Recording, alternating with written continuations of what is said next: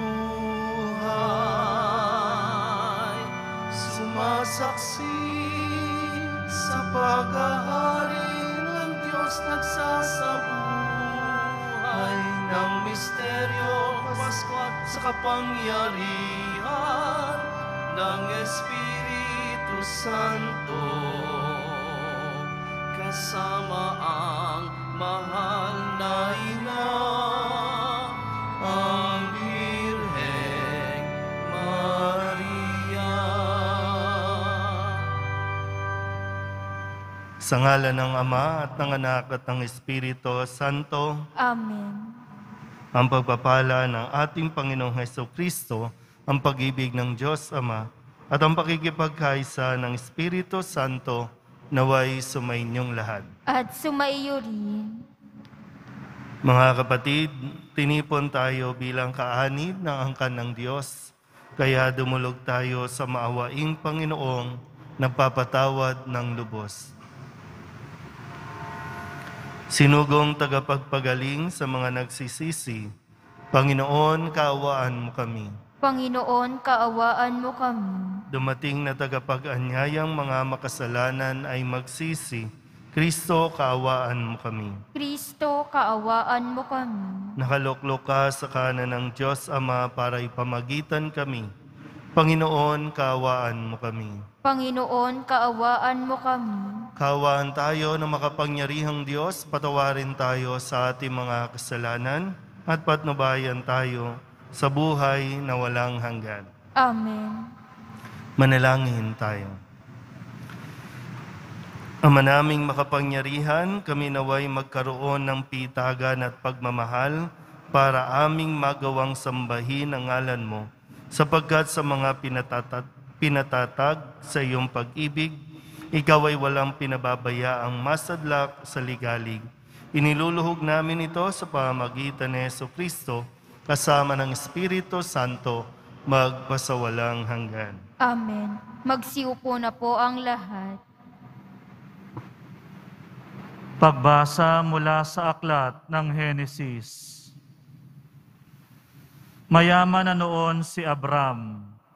Marami na ang kanyang mga tupa, kambing, baka, at marami na rin siyang natipong ginto at pilak.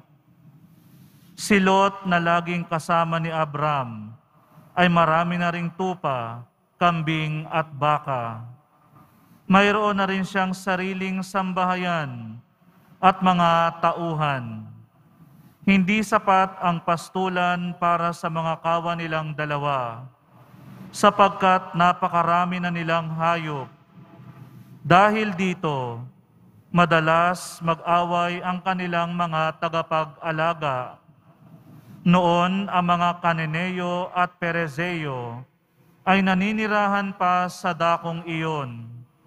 Kinausap ni Abram si Lot, Hindi dapat mag-away ang mga tauhan natin sapagkat magkamag-anak tayo. Ang mabuti maghiwalay tayo. Piliin mo ang dakong gusto mo at doon ako sa kabila.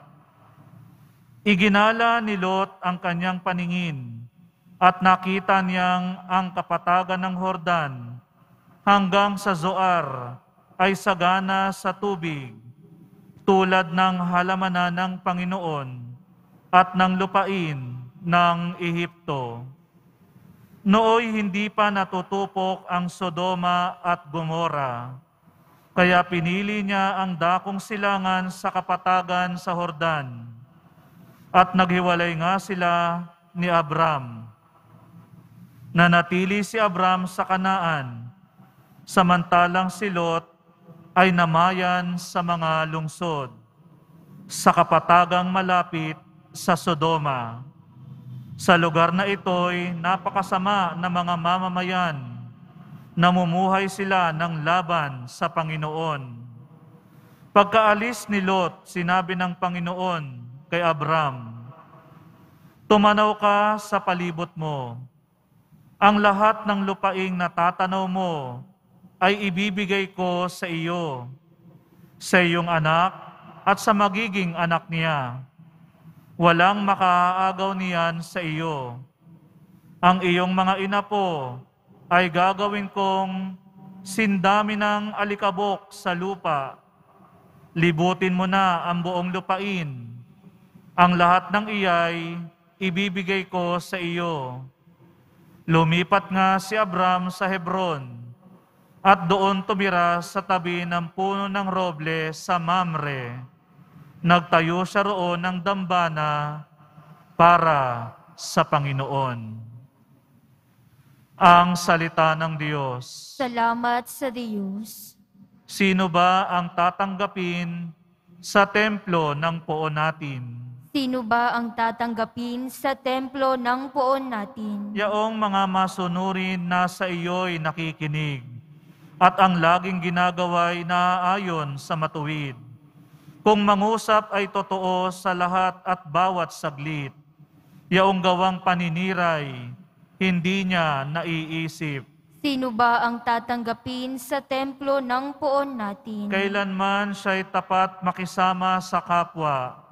Sa kaniyang kaibigay, wala siyang maling gawa. Hindi siya nagkakalat ng di tunay na balita at itinatampok niya ang matapat sa lumikha. Sino ba ang tatanggapin sa templo ng poon natin? Hindi siya humihingi ng patubo sa pautang at kahit na anong gawi, hindi siya masuhulan.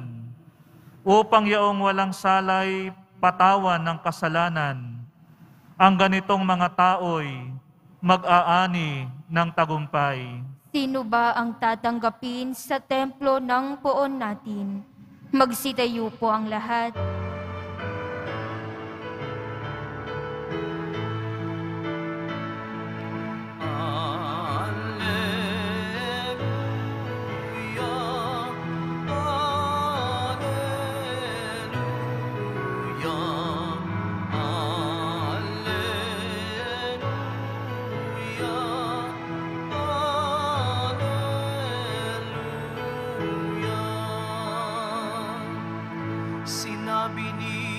Hesu Kristo, Ako ang ilaw ng mundo at buhay ng alagad ko.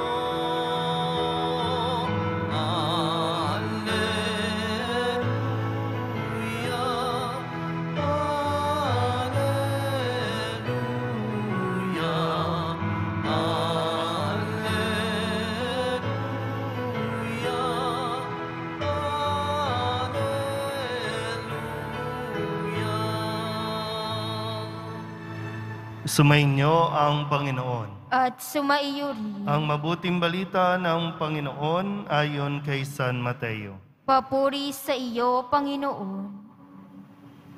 Noong panahong iyon, sinabi ni Jesus sa kanyang mga alagad, Huwag ninyong ibigay sa aso ang bagay na banal, sapagkat kayo'y babalingan at lalapain nila pagkatapos. Huwag ninyong ihagi sa baboy ang inyong mga perlas, sapagkat yuyurakan lamang nila ang mga iyon. Kaya gawin ninyo sa inyong kapwa ang ibig ninyong gawin nila sa inyo. Ito ang kahulugan ng kautusan ni Moises at ng turo ng mga propeta. Pumasok kayo sa makipot na pintuan, sapagkat maluwag ang pintuan at malapad ang daang patungo sa kapahamakan. At ito ang dinaraanan ng marami. Ngunit makipot ang pintuan at makitid ang daang patungo sa buhay, at kakaunti lang ang nakasusumpong niyon. Ang mabuting balita ng Panginoon. Pinupuri ka namin, Panginoong Heso Kristo. Magsiupo na po ang lahat. Isang magandang araw po sa inyong lahat. Atin pong alalahanin kung sino po tayo sa harapan ng Diyos. Una, sa ating katisismo, itinuturo sa atin na tayo po ay mga anak ng Diyos. Tayo ay nilikha ng Diyos na mabuti. Binigyan tayo ng dangal. Binigyan tayo ng karangalan. Higit sa lahat ng mga nilikha ng Diyos, tayo ang kanyang hinawakan, tayo ang kanyang hiningahan. At tayo po ang, sabi nga po, no, pinakamagandang nilikha ng Diyos. Pinakamabuti na nilikha ng Diyos. Okay po? Malinaw po tayo doon? Okay. Kaya nga, ito yung pinakamahalaga sa tao.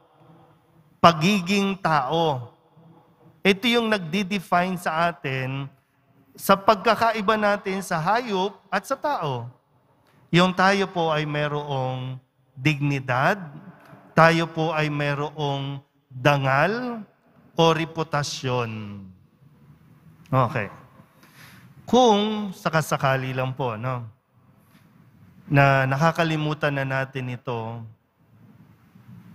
eh sana po ngayon, mapaalalahanan tayo ng mabuti. Di ba sabi po nung, sabi nung mga nakakatanda noon, isa sa mga kasabihan, di bali ng mahirap, basta't may dangal ako. Di ba ganun po no, yung paninindigan, di ba? Di bali ng mahirap, basta't hindi lang ako gumagawa ng masama. Yan, yan yung ipinagmamalaki ng mga sinaunang mga ninuno natin eh. Nakipag, no, para bang ipinakipaglaban nila na hindi mayurakan ang kanilang karangalan, ang kanilang dangal. Kahit ano pang kapalit na kayamanan, parang wala ka ng pride, hindi ka na makakatingin sa tao dahil alam mong na ipagkanulo mo ang iyong dangal o dignidad sa hindi karapat-dapat.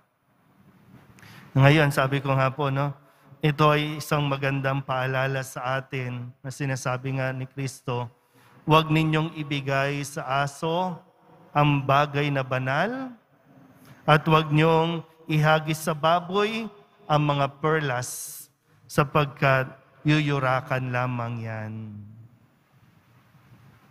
So, ibabalik ko. Ikin, yung, yung bang ating ikinararangal, yung ating pagkatao, ay nandiyan pa ba?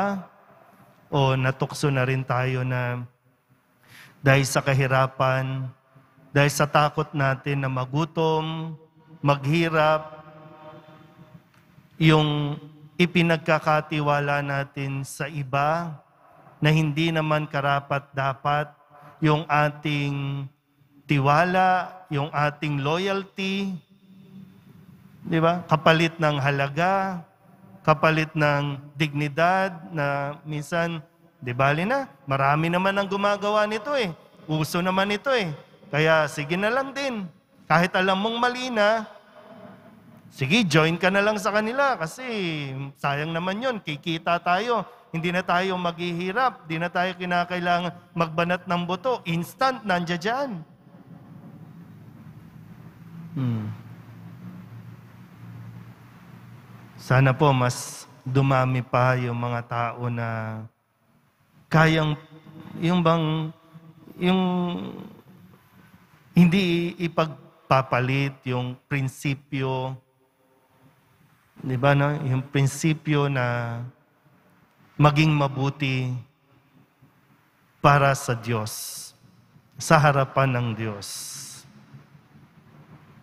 Kung sa paalala ni Kristo, marami yung mas gustong mamuhay sa mas madaling paraan kesa doon sa magtiis, magbanat ng buto, Pero nandun yung ano eh, nandun yung fulfillment eh.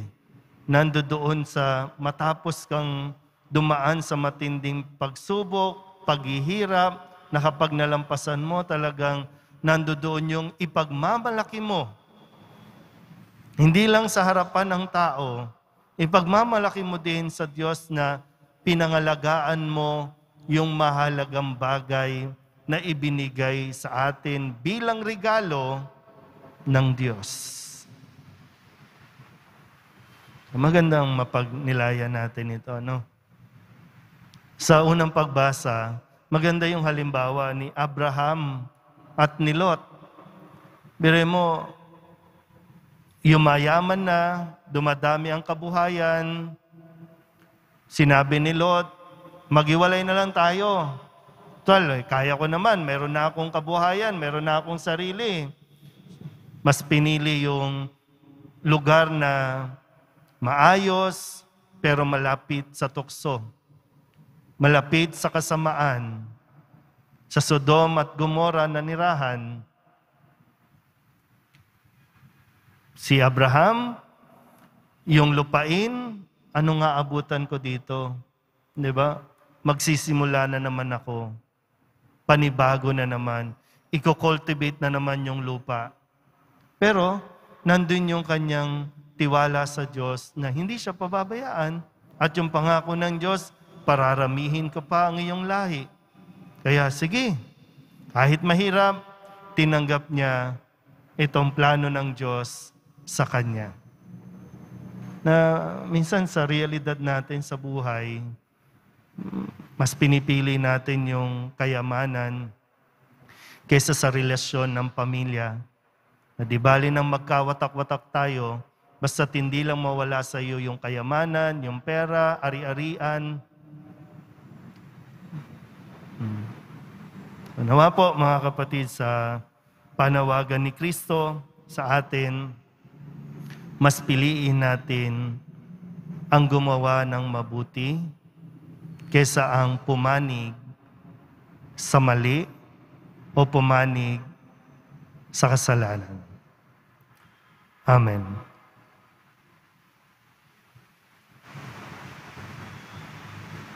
Magsitayo po ang lahat. Minamahal kong mga kapatid, ipinapangako sa atin ni Kristo na naghahatid sa buhay ang makipot na pintuan.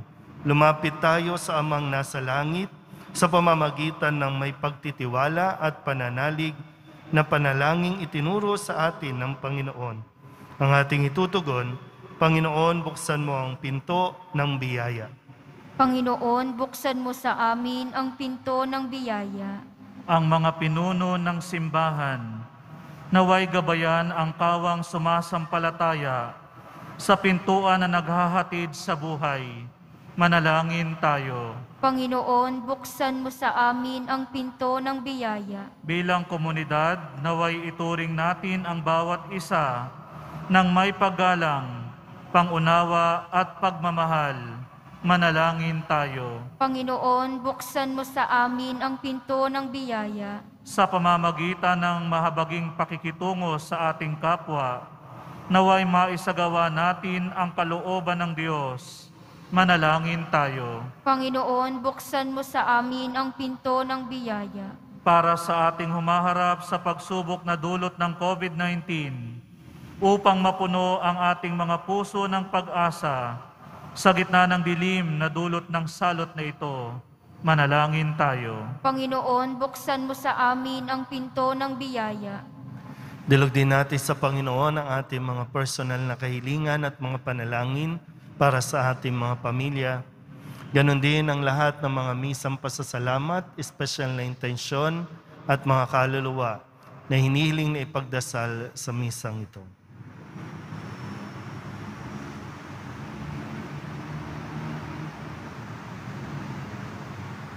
Ang lahat ng ito hinihiling namin sa ngalan ni Kristo, ang aming Panginoon. Amen. Magsiupo na po ang lahat.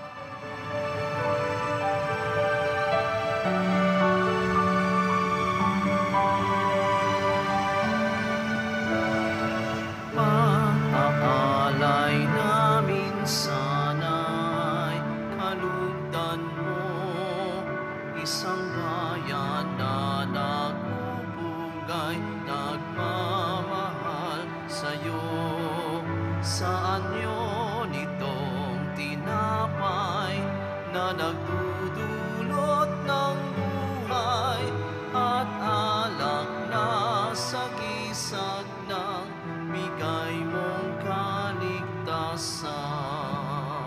Magsitayo po ang lahat.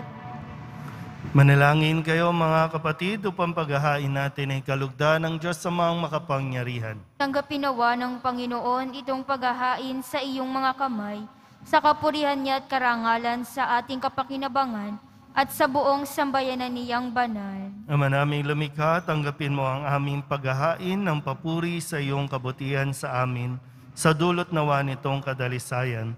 Kami naway makapag-alay ng iyong kinalulugdan sa pamamagitan ni Yesu Kristo, kasama ng Espiritu Santo, magpasawalang hanggan. Amen. Sumainyo ang Panginoon. At sumaiyo rin, Itaas sa Diyos ang inyong puso at diwa. itinaas na namin sa Panginoon. Pasalamatan natin ang Panginoong ating Diyos. Marapat na siya'y pasalamatan. Ama naming makapangyarihan, tunay ngang marapat na ikaw ay aming pasalamatan. Sa iyong paglingap at kagandahang loob, ang tao'y nilikha mo at pinangasiwa sa sansinukob. Sa hangad mong siya'y iwastong lubos, siya'y pinagdusa mo sa kanyang pagtalikod. Sa iyong paggiliw, iyong ipinahintulot na makabalik siya sa pamamagitan ni Kristo Jesus.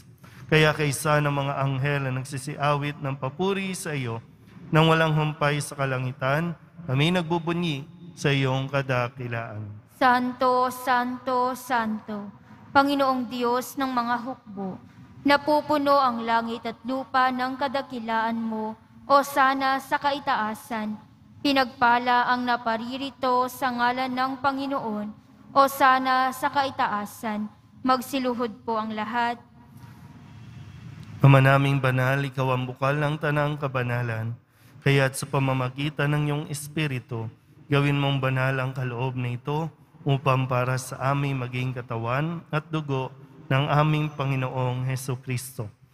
Bago niya pinagtiis ang kusang loob na maging handog, hinawakan niya ang tinapay, pinasalamatan kaniya, pinaghati-hati ni Ayon, iniabot sa kanyang mga alagad at sinabi, Tanggapin ninyong lahat ito at kanin, ito ang aking katawan na ihahandog para sa inyo.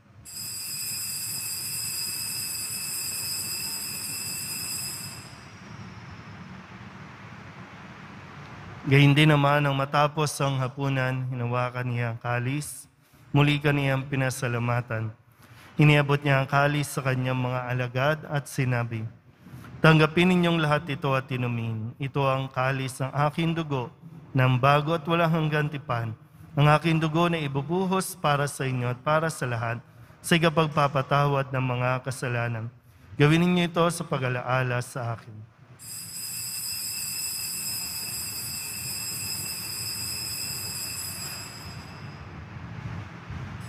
Magsitayo po ang lahat. Ipagbunyi natin ang misteryo ng pananampalataya. Si Kristo ay gunitain, sarili ay inihain. Bilang pagkaitinumin, pinagsasaluhan natin hanggang sa siya'y dumating. Ama, ginagawa namin ngayon ang pag-alaala sa pagkamatay at muling pagkabuhay ng iyong anak. Kaya tiniaalay namin sa iyo ang tinapay na nagbibigay buhay at ang kalis na nagkakaloob ng kaligtasan. Kami napapasalamat dahil kami iyong minarapat na tumayo sa harap mo para maglingkod sa iyo. Isinasamo namin kami magsasalo-salo sa katawan at tugon ni Kristo ay mabuklod sa pagkakaisa sa pamamagitan ng Espiritu Santo. Ama, lingapin mo ang iyong simbahang laganap sa buong daigdig. Puspusin mo kami sa pag-ibig kaysa ni Francisco na aming Papa, ni Broderick na aming tagapangasiwa at ng Tanang Kaparian.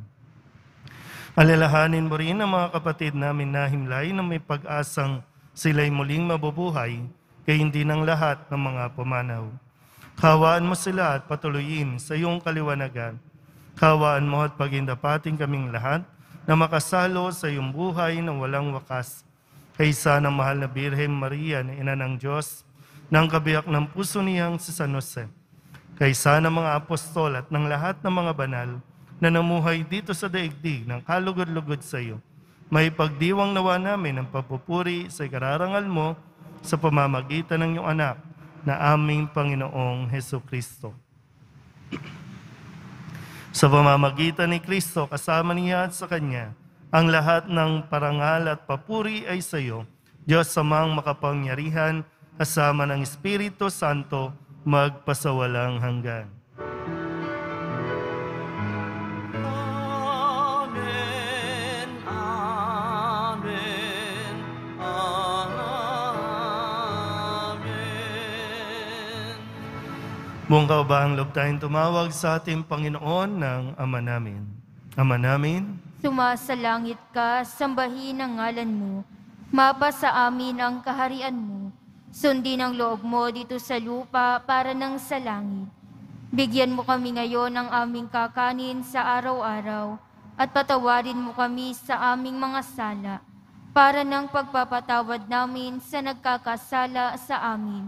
At huwag mo kaming ipahintulot sa tukso at iadiya mo kami sa lahat ng masama. Inihiling namin kami iadya sa lahat ng masama, pagkalooban ng kapayapaan araw-araw, iligtas sa kasalanan at ilayo sa lahat ng kapahamakan, samantalang aming pinananabikan ang dakilang araw ng pagpapahayag ng tagapagligtas namin sa Heso Kristo. sapagkat iyo ang kaharian at ang kapangyarihan at ang kapurihan magpakailanman. Amen. Panginoong Heso Kristo, sinabi mo sa iyong mga apostol, Kapayapaan ang iniiwan ko sa inyo, aking kapayapaan ang binibigay ko sa inyo. Tunghayan mo ang aming pananampalataya at huwag ang aming mga pagkakasala. Pagkalooban mo kami ng kapayapaan at pagkakaisa ayon sa iyong kalooban, kasama ng Espiritu Santo, magpasawalang hanggan. Amen. Ang kapayapaan ng Panginoon ay laging sumainyo. At sumaiyo rin. Magbigayan po tayo ng kapayapaan sa isa't isa. Kordero ng Diyos na nag-aalis ng mga kasalanan ng sanlibutan, maawa ka sa amin. Kordero ng Diyos na nag-aalis ng mga kasalanan ng sanlibutan, maawa ka sa amin. Kordero ng Diyos na nag-aalis ng mga kasalanan ng sanlibutan, ipagkaloob mo sa amin ang kapayapaan. Magsiluhod po ang lahat.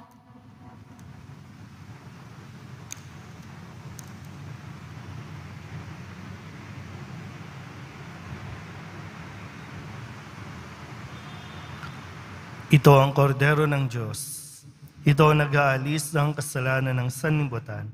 Mapalad ang mga inanyayahan sa kanyang piging. Panginoon, hindi ako karapat-dapat na magpatuloy sa iyo. Ngunit sa isang salita mo lamang ay gagaling na ako.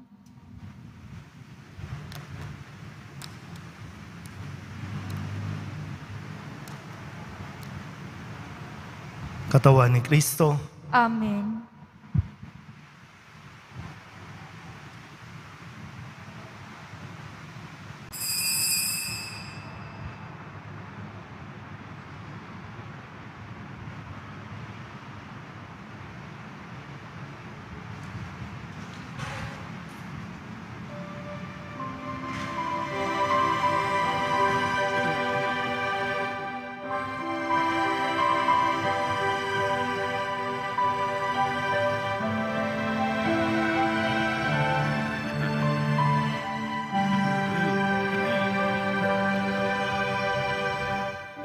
Umasa ka sa Diyos ang mabuti gawin at manahan kang ligtas sa lupain. Sa Diyos mo hanapin ang kalikayahan at pangarap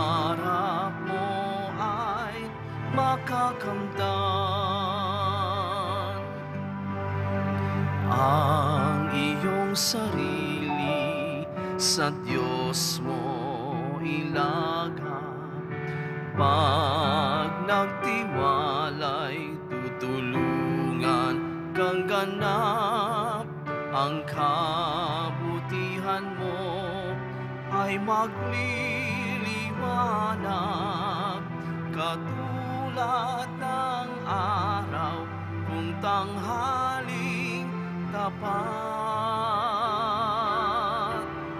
Umasa ka sa Diyos ang mabuti gawin at manahan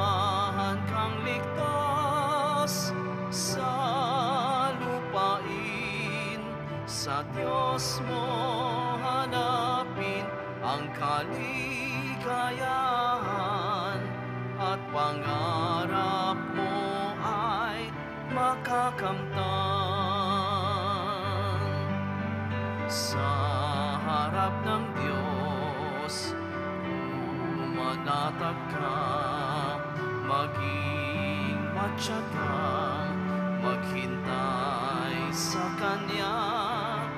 Huwag mong kainggitan ang gumiginhawa sa likong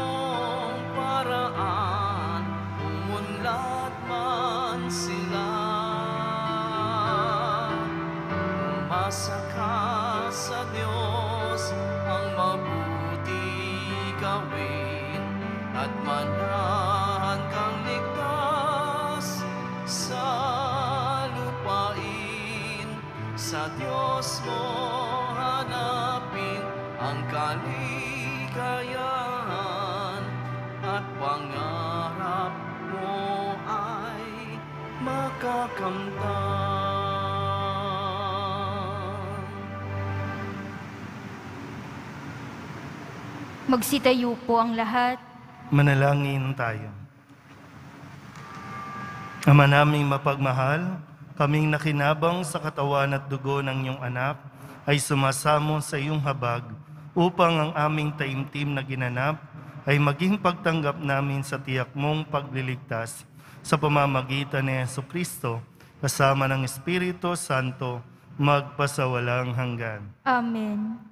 Sumainyo ang Panginoon, At sumaiyo rin. Manalangin tayo para sa pagbabasbas. Mahal na po ang Jesus Nazareno, inihayag mo sa pamamagitan ng krus ang walang maliw na pag-ibig ng Diyos sa sangkatauhan. Pakinggan mo ang kahilingan ng iyong angka na nagsusumamo sa iyo. Makamtanawa nila ang iyong katugunan at tanggapin ang kasagutan na may utang na loob na tinatanaw. Basbasan din po ninyo mga daladala nilang mga imahin at dasalan at lahat ng mga may karamdaman.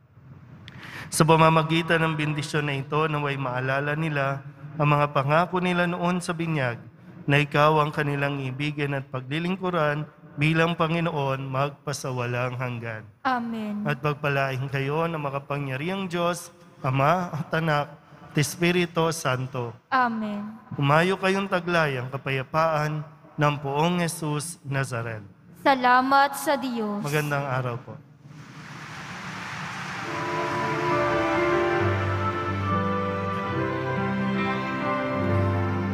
Nuestro Padre Jesus Nazareno, sinasamba ka namin.